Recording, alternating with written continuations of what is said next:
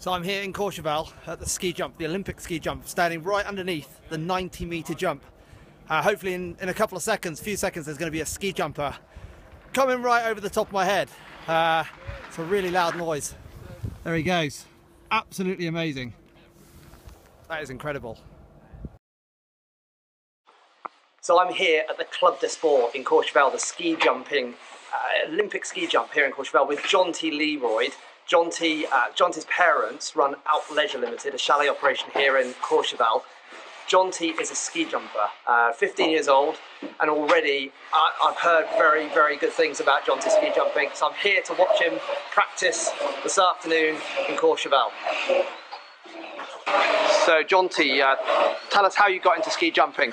Well, I started ski jumping when I was seven years old. I was um, an alpine skier in the club of Courchevel.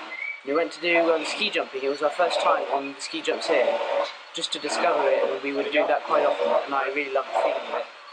So the next summer, I came and joined the actual ski jumping club, and um, that's how it all started. Fantastic. So you're jumping on what? What size jumps do you jump off now? Uh, the normal training training jump, so jump off is a 90 meter, a K point 90 meter, which is the um, basic distance the kind of reference distance of the jump, but I've my biggest jump is a 120 meter. That uh, yeah, it's also here in Courchevel, but there there are many over the world. That's where the World Cups, or what jumps the World Cups are held on.